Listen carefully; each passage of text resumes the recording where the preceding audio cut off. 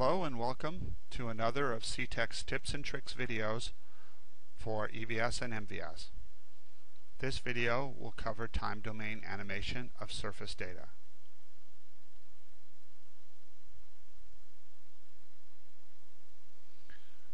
This video covers the processes to perform time domain animation of surface data such as water tables and ground subsidence. The process described applies to surfaces measured at multiple times at fixed locations, rather than random or different locations at each time. For data which is measured at different locations for each measurement event group, the basics demonstrated in this video would still apply, but the data would need to be organized in C Tech's GMF format versus the GEO format we will discuss in a few minutes. Collection and organization of your data is the most challenging task, but that's not because it's particularly daunting, rather because once you have your data ready, EVS and MVS makes the job of animation very easy. Group your measurements taken over a few days or even weeks into the same date group. Now by that I mean if your entire site is resampled every three months, do not separately list each day when a particular location is sampled. Rather, you want to name each column of your data representing a date group as the average date for that sampling event. The date must be in Windows standard short date format. In the United States, that is typically month, day, year, separated by a slash, as shown here. Some database programs, specifically Access, do not allow slash in field names. In that case, use the pipe character and we will convert it automatically. Date groups need not be at equal time intervals. Data should be organized in Microsoft Excel or Access, and measurement date groups should be in columns, and measurement XY locations and the corresponding time-based data elevation should be in rows. Here we're showing an Excel file, and we're going to open that up in Excel. This data is organized in months, beginning with February 1994. We have two columns of XY data and 40 plus columns of date data measured at different times. And then finally in the same uh, spreadsheet, we have the site ID. This Excel file has 48 well locations where groundwater elevations were measured on a monthly basis. There are over 150 cells in the file representing locations and dates where no measurement was taken. These cells representing missing data are blank. We will use the C Tech data exporter to convert this file into our GEO format. The process is very simple. We run the exporter, browse the file and open either an Excel or an Access file. The exporter allows us to select the appropriate sheet in the file or table and specify whether there are headers, which there will be for this file. We confirm, confirm which fields, columns represent the data we want, and then set some options. So let's begin. I'm going to open an Excel file containing the data that we were just looking at. This file has two sheets, so we specify the sheet that we want, and we also make sure that we tell it that the table contains headers, since the first row of our data was the headers for our fields. Now you don't have to have headers, but you would then need to know which of your columns represent specific fields. So headers are very advisable. Now we specify what type of file we want to create. Now this is not analytical data, but this is in C Tech's GEO format, representing borehole geology or water table or non-hierarchical surface data, which is what we have here. Because our fields were named properly, um, the x and y coordinates were picked up automatically and selected here, although if they were wrong, we could change them. Um, we also then specify what surface represents the first surface, here first meaning first in time. In this case, all of our surface coordinates are elevations rather than depths below a top column provided separately. We are going to specify our site ID. Uh, the default name we had for site ID um, was not picked up automatically. And now we come over here and make sure that all of the appropriate columns are selected for that represent our subsequent surfaces. We don't want any extraneous things selected. So if this table had other columns, for example, the contractor that collected the data or some other information, we would we would not select those here. So we want only our subsequent surfaces. Our first surface, which is selected here, should not be selected. We specify what our coordinate units are. In this case, they are meters. And if there was a column representing symbols, for example, different types of wells, um, we could choose it here. There is not in this spreadsheet. At this point, we're ready to go. So all we need to do is create our geology file, and uh, we can put it wherever we like. We're going to put in this, by default, it opens up to the same folder as the Excel file that we opened. So I'm going to call this.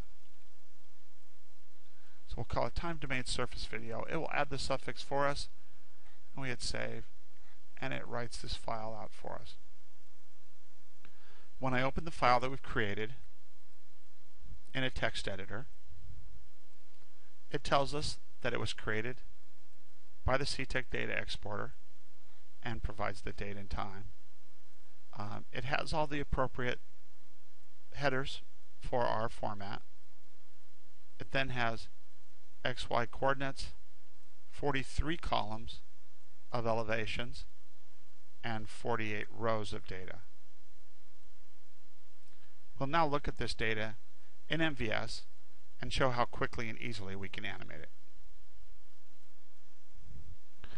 Now with MVS started, we're going to begin by reading the file that we just created. So I'm going to instance post samples in the viewer, connect them together, and specify the file that we started with.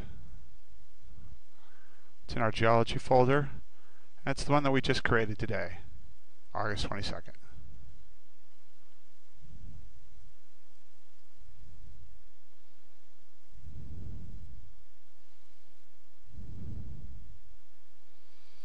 Now, when we read this in post samples, every one of our borings will display all the times.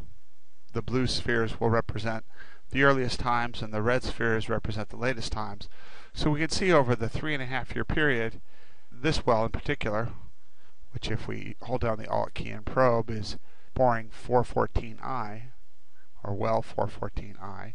This one in particular had the greatest variation, so probably um, a well with the highest pumping rate in this area, and and the others, you know, had rather significant seasonal variation. So we don't want to just look at them this way. We want to take this data and we want to be able to view the surfaces that they represent. So again, we're going to read the same data, and we can do that by just passing the data file name to Krig 3D Geology. Um, and we're going to tell it to just run with all the default parameters. And it is done. We'll connect our instance geologic surface, hook it up,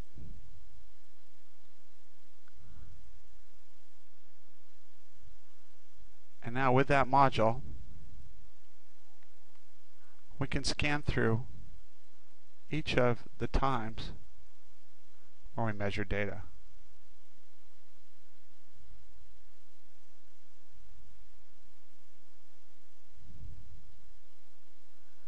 Now this is interesting, but our data may not be measured at equal time intervals. Now this data is mostly monthly, but I believe there is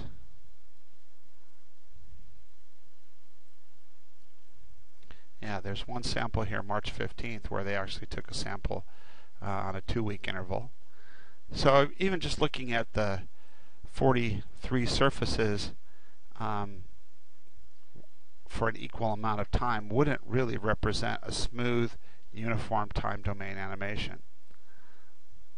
But because our data has surfaces that are named by their dates, there's a fantastic module in in our animation library that makes dealing with this data very simple and it's called time geology. So we're going to replace, or actually insert, time geology in between geologic surface and Krig 3D geology. And now when we do this, it's automatically going to detect that the, the initial start date was February 1st, 1994. The last measure date was July 1st, 1997. And I can grab this slider and go anywhere in between and select that as a date. Or I could specify an interval size, let's say seven days, and reset to the beginning and tell it to run. And it will step through every week, interpolating between all the measured states and create a smooth animation. And really, that's it. We're done. Except there are a lot of things we can do. So let's go a little bit further here. Let's reset back to the beginning and add axes to this model.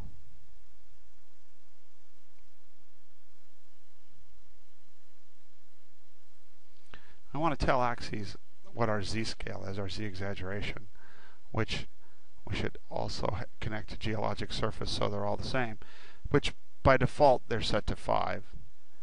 And I don't think that's enough, so I'm going to bump this up to 15.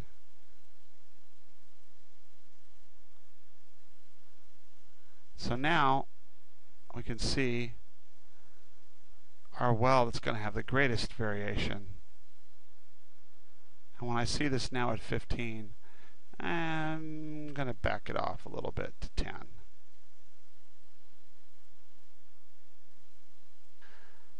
So here we have um, our surface at the beginning time, February 1994.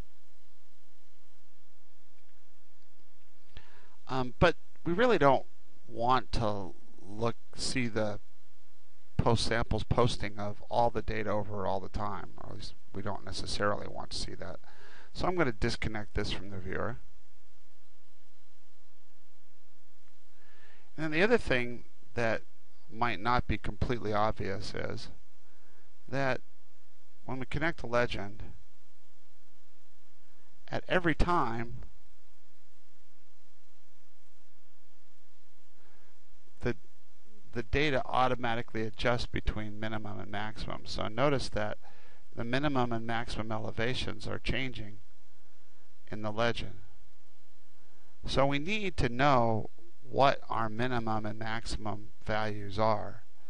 And and again we can we can get that from post samples just by looking since we connected it to the axes. Um, we can open up the axes and look at the uh, spatial definition and see that it runs from 944 to 1029. So there's a module that lets us change our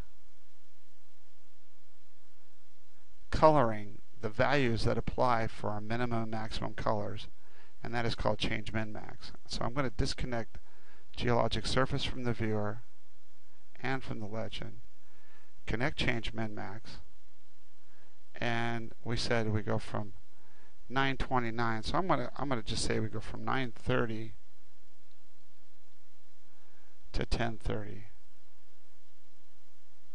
Now if it goes below 930, it'll just color it as 930. If it goes above 1030, it'll color it as 1030. So now when I connect this to the viewer and the legend, we can open up the legend and set the number of intervals so that we get nice spacing. And we don't need it to run anymore, so we're going to turn the run toggle off. Likewise, we don't need axes to run every time something changes in the data, so we're going to turn it off. Now notice that both of these module status icons now are showing that they have run, but they're set to not run automatically, which is why they have this circle and the stop sign. So now when we go back to time geology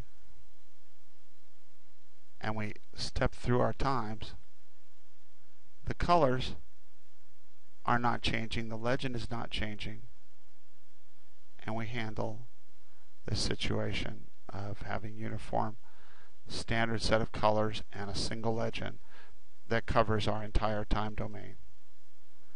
So I'm going to change the step size to be, um, actually let's change it to weeks and let's go on half week intervals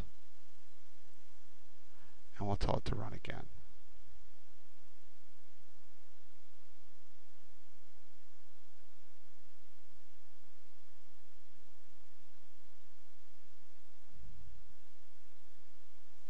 So the last thing that I think we're going to do with this animation is add the date as a title that changes on the screen. So the first module that we need to accomplish this is over here in the tools and it's called string format. It's this sys module and let's uh, resume to fit so that we can see everything. And we connect the output time which is the last time port here time geology, to the first numeric port for string format. And then a string format module is inheriting that date number as this first numeric value, which is F1. So we're going to change the string to read water table on, and then we're going to enter a date. So we change this default function to be date. And then we have to tell it the format that we want. And so there are many date formats, and you can look those up in the EVS help. But I'm going to use the long month, which is MMMM, and then DD for the day of the month, and then the full year. When I press enter, we can see what it's going to give us. Water table on July 1st, 1997. That's right now the current date in being output from time geology. So we're going to take this string created by string format, because that's what it does, pass it to a titles module, connect the output, connect that to the viewer, and here we have our string. Now we can put that string wherever we'd like. Let's, just for fun, make it left justified. And because we're using forward-facing font, we need to do that here. We change this to left can set the size. Let's bump it up a little bit so it's a little bolder. And now we move it over. Put it along the X edge here. And raise it up. Put it in the upper left hand corner. And we're all set. Go back to time geology. Reset it. And we're ready to animate. Now I'm going to maximize my viewer and I can access the modules here. And when I press run, it's going to start. So I'm just going to move this out of the way over here where we can see run. And so you'll be able to see the viewer better.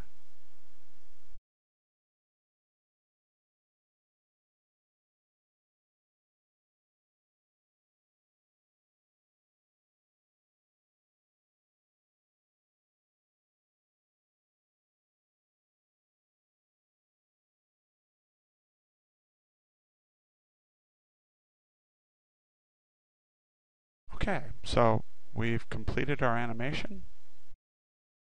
We have our final application. And the last step would be to save this so that we can use it on another day. Um, also, we want to know that the animator can control time geology's time.